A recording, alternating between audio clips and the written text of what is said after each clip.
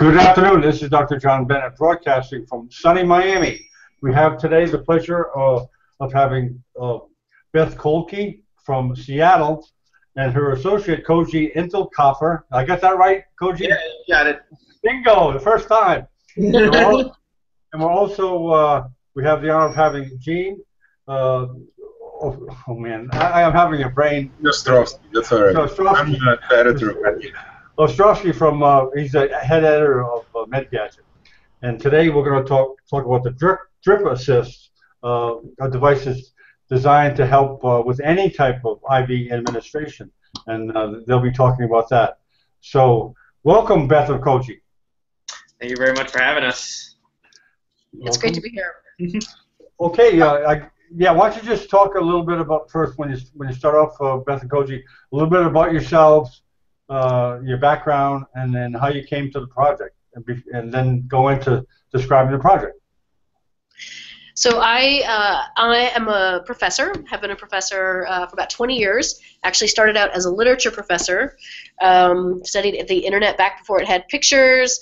Kept up with the technology, and then got really really good at understanding why people use technologies and what made them fall in love with the technology. And uh, but then I got to the point where I wanted to help build better stuff, not just understand tech. So I moved over to engineering. So for the last 15 years, I've been a professor of human-centered design and engineering, and I started Shift Labs in 2012 to essentially fill a gap in the commercialization pathways for medical devices. So we wanted to create a business model that makes it sustainable and profitable for low-cost devices to make it uh, onto the market and, and improve care and save lives. So we're responding to changes in the medical uh, the medical sector in emerging markets around the world, as well as changes in the U.S., sort of pushing more medical care outside of hospitals and more alternate site care. And we're just really excited about what technology allows today and the kinds of uh, gadgets, medical uh, devices that we can build that can really help people. Uh, and yeah, Koji, so I'm a mechanical engineer um, out of Georgia Tech, um, and then I worked at uh, Philips Sonicare for a couple of years before leaving that and pursuing my own startup. Um, and I worked on that for a few years, um, and unfortunately had to shut it down. But uh, while I was looking for my next great adventure, that's when I ran into my co-founder here, Beth. Um, I like what she was trying to do with medical design space, um, and so I have been on board for two years now, almost exactly. So. Very good. Now, how, how did the idea come to you, uh, Beth, of the drip assist? How, how exactly? What's the genesis of the idea? Well, when we started the company, we had no money at all. So we couldn't go do any research to figure out what kinds of problems people had. So I had done field work around the world. I've been working in emerging markets as a researcher for a long time and had been to a bunch of hospitals. But I sat down with some doctors and nurses who worked overseas from different parts of the world, and I just sort of had them tell me about their day and listen to what was really hard about doing their job. And then I compared across each of those long interviews and identified about six common themes and then I sat down with a bunch of hardware hackers and I said, okay, well, which of these problems could we actually solve inexpensively? And there are about about three that we thought, oh, we can come up with a you know a way to solve this. And our design theses is uh, are that we want to build things that are affordable and simple, right? So it's like, which of these can we solve with a simple, affordable solution? And of the three, the Drip Assist was the one that we got the most excited about early on, and so that's why we're here today. Very good. And how uh, could you describe the product, please? Sure. So it's, it's a it's a very simple. Here it is. Um, very simple product um, that uses essentially a little infrared beam to detect drops in the IV chamber. So you can actually turn it on and select what drop factor. So each tubing set has its own sort of um, uh, needle size. Needle size, yeah. So the, uh, the size of the size of the drop that's falling. This thing here. There you go. and then as the drops fall through, the device will simply detect them, and it can tell you how many milliliters per hour you're, you're dosing, how many drops per minute, and what your total volume is. And then there's also a nice little feature that's an alarm. So once you get a nice steady flow rate, you can turn on your alarm. If you get a runaway bag or the fluid stops completely, the device will tell you. Turn it right back off. So you can see one sitting right up here. It just uh, attaches to the drip chamber like that. So it's, it's Oops. there you go. Okay, that's cool. That's cool. Hangs on. And that's all there is to it. Oh, and it runs on a little single double A battery, which is really Uh-huh. nice. And it'll run about two weeks continuously if you just left it on. on that one double A. Well, it's uh, pretty pretty straightforward and simple. Um, now, you, before the show, we briefly just uh, talked about the places where it's used, and you said not only disaster areas, but first, could you talk about disaster areas? Why it would be beneficial? Oh, in disaster areas, sure. So the really the the double A battery we think is one of the great things about it. So it's super portable, um, and you can find a double A battery anywhere in the world, um, and it'll last for a long time on that battery. So the that sort of power um, issue makes it really great for any kind of mobile um, or austere setting, but also the simplicity of it. So we worked really, really hard to make it a simple design, and we say that anyone can be trained on this device in under five minutes, uh, and we're proud of that. but what that means is, in a, in a disaster setting, you might have uh, caregivers, clinicians who are used to using infusion pumps, who are then forced to be doing manual gravity infusion, and you know, it's the kind of thing that if you haven't done it a lot, sometimes the equations, the conversion equations, aren't at the tip of your tongue. And so, with a device that's this simple that you can learn to use almost instantaneously, it's a great backup uh, for providers, so they can still give precision infusions. Well, you, that's one thing I was always amazed at in, in the emergency room. We would barcode orders to, for nurses to start a drip, and, and they have to calculate it on the fly, frequently in very tense situations. Uh, and this kind of simplifies it. I, I, get, I suppose it has a place also in third world countries where the nursing staff is not, you know, really well trained. Well, so there, yeah. So anywhere where you don't have a lot of training, um, but also where you really need uh, precision. So it, it, as this bag gets lower here, that rate is automatically going to get slower. That's just the way gravity works, and so it saves time also. So the nurses instead of having to go back to the bedside and make sure and readjust using this roller clamp, they can just set the device, kind of set and forget, right? And when it gets um, out of uh, outside their safe zone, the alarm will go off. So it's it's really it's designed to save time, but also increase the accuracy of those infusions. Mm-hmm. Gene, do you have any questions? Oh, go ahead. Yeah, I was wondering, like, uh, you say it works for two weeks on one battery. Why is it so requires so little power? Um, it's just a lot of uh, engineering work. So, you know, we worked on selecting uh, an LCD screen that drew very little current. Um, mm-hmm. we do things like pulse the, the LED uh, emitter and sensor, uh, choosing the correct components and designing the, the circuit in such a way that it draws very little current. Um, there's, there's really all there is to it. And then, yeah, the simplicity of the design and the functionality helps a lot too.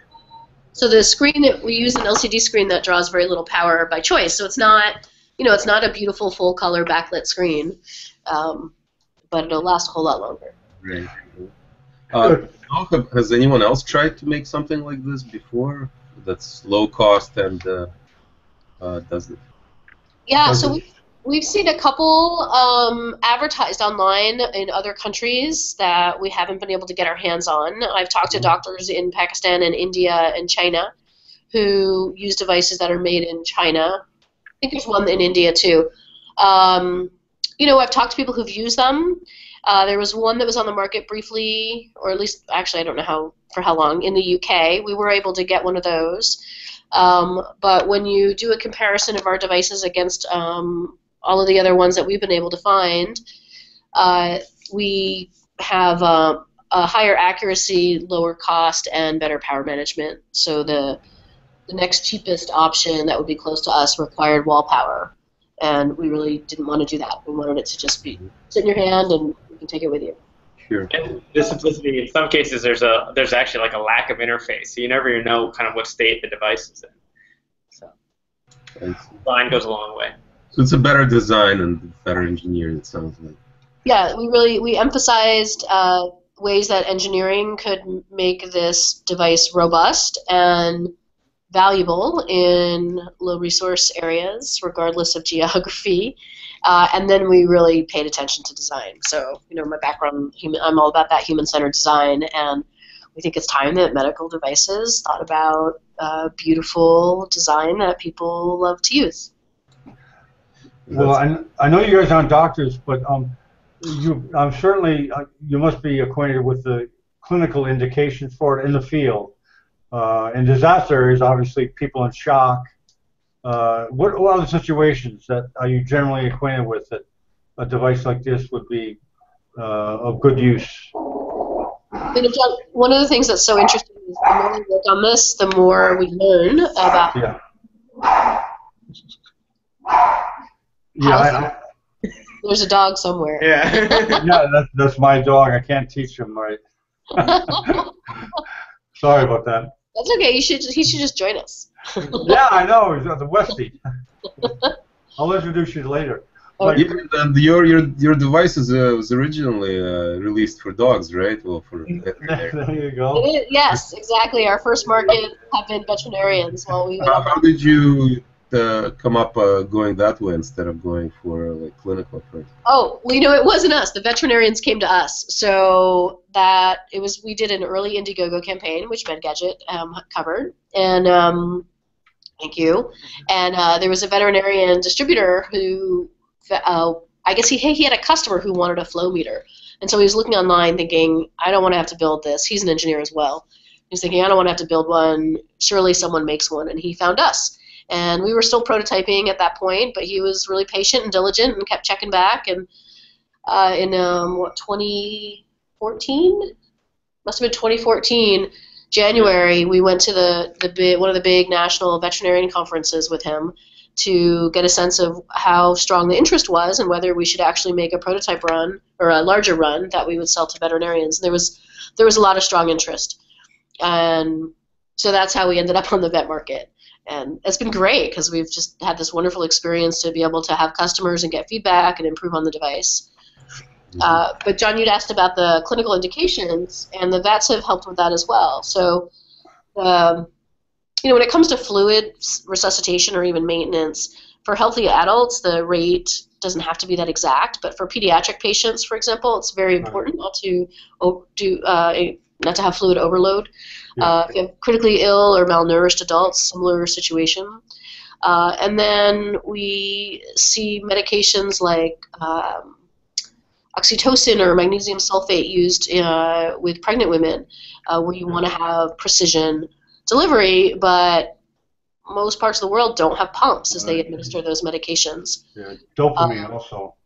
Sorry? Dopamine, dopamine drips for. Dopamine, some malaria meds for kids, um, vasopressors, um, uh, nitro nitro drips. I don't know if you guys use those. In, in, we uh, haven't we haven't done any work there. Okay, yeah, that's like cardiac units. That's kind of a specialized. But, um, diabetic ketoacidosis um, is another indication that we have some clinicians interested in looking at it. So there's, like I said, we've the more we talk to clinicians, the more we learn about ways in which this can be useful. So the most recent for us has been um, uh, Ebola, and so one of these devices I think has a sticker on the back. Yeah, this one here.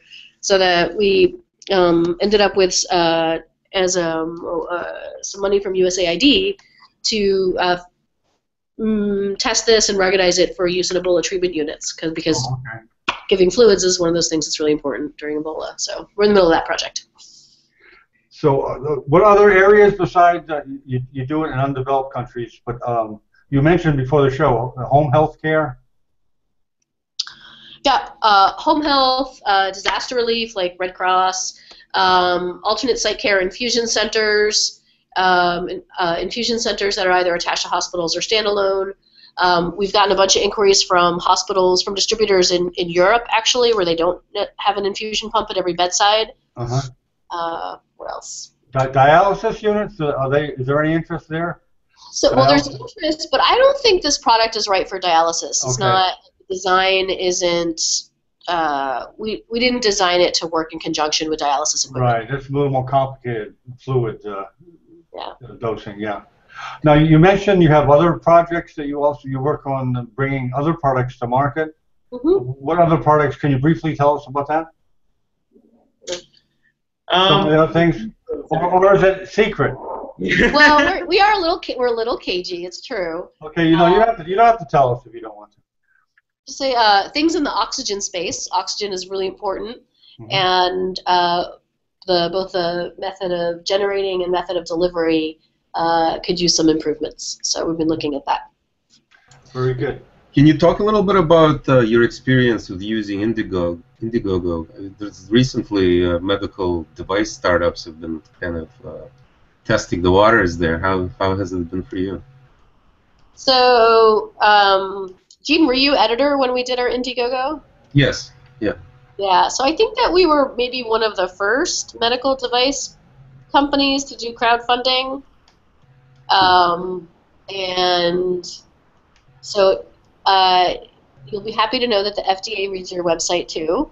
Oh, Um, because after they, when they ran across our crowdfunding campaign, they reached out and emailed us, and um, they were great. They said we want to help you not make a mistake, uh, but it definitely changed uh, some of the ways in which we were working with our supporters. Wait, wait a minute. Someone said something nice about the FDA. I think I'm gonna I'm gonna I'm gonna write that down. Definitely. Wow. They were they were very nice. They were really supportive, and uh, they worked hard to be helpful. And they reached out to you about. They did. Uh, really? They did. Yep. Wow. That that is very decent of them to do that. I, I didn't realize they were so proactive. yeah, so they were like I said, they were really um, like we had no we had no idea. We, we didn't think we were making medical claims, but they thought we were. Oh, okay. Um, so they were uh, they, they were very patient in uh, helping to educate us. What I would say. very good. Uh, but I think actually when you look at things like um, Kinza or the what's the tricorder one? Oh, it's Canada. Yeah, yeah, Yeah, Scanadu. Scanadu. Like thank you.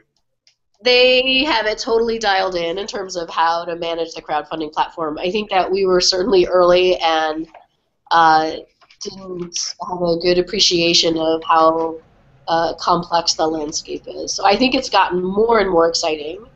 And Well, it's, it's uh, some of it is, is a bit misleading. Scanadu was like a couple years late. It seems like I'm actually putting out a device. yeah, well, it turns out hardware's hard. And when you add the regulatory level to it, there's there's a whole level of sort of unpredictability that comes into it. You never quite know what you're getting into until you start. So. Right. Very good. So what would you say? Would you recommend trying it, or um, Crowdfunding for a medical device? I'm not sure that I would actually. Really. Um, I don't. I don't know. You know what? Uh, if we hadn't done the crowdfunding, the veterinarian uh, distributor never would have reached out to us, and we wouldn't have had a year of revenue while we wait for regulatory. Uh, wait to get through some regulatory hurdles. So, with people? pardon me. It was a way f- for you to connect with people that that became important. Yeah, so someone told me once that crowdfunding isn't really about the money you raise, it's about exposure for your project. And I, intellectually, I, I agreed, but I didn't really understand until we launched the campaign what that meant. And it was amazing. The people who reached out from different countries, this vet distributor, uh, specific nurses who were excited. It was definitely about the exposure that the project got and it allowed people who were interested in what we were doing to find us and contact us and uh, help make this better. That's cool. Okay. Great. How, how can people get in contact with you, uh, Beth? If Well- they want to get in contact with you, they can Uh, Google, Google Google your name. Yeah, you could Google my name, but our company is called Shift Lab. How do you spell that? S H I F T. Okay, just Google Shift. Shift Labs, and I'm uh, I'm Beth at Shift Labs. The, the website is shiftlabs.com, S-H-I-F-T-L-A-B-S.com. Okay. Well, we're going to get fancy in the future. and We'll actually blurb that on the on the screen like they do on TV, but we're not there yet. Yeah. Uh, you can also reach out to us on Twitter, at shiftlabs, Mhm. um, or on Facebook, actually. Yeah, we have a Facebook page too. We have all these things. We do have all these things, but yeah, if people are interested, we encourage them to reach out, um, email, send us a tweet. We uh, would love to hear from people who are either interested in the Drip Assist and infusion generally, who are also working on uh, uh, products or projects that reach out to markets globally. Uh, it's an exciting place to be, and we love talking to other folks uh, doing some of the work. Great, great. Thanks, uh, Beth and Koji, for coming out, and thanks, Gene, for participating. And uh, hope that things go well. It seems like a great product. Go ahead, Gene. You have something to say? I just wanted to thank everybody. Thanks for coming, and uh, I hope uh, best of luck to you to you all with this project, and uh, hope it's used around the world to save a lot of people. Thank you. Thank you for the opportunity to meet you both and uh, tell our story. Okay. Thank you very much. Bye bye. Good day. Bye bye.